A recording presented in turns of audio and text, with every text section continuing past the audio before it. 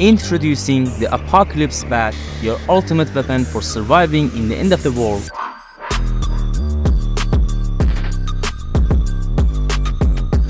Find it in my stores on ArtStation and CG Trader.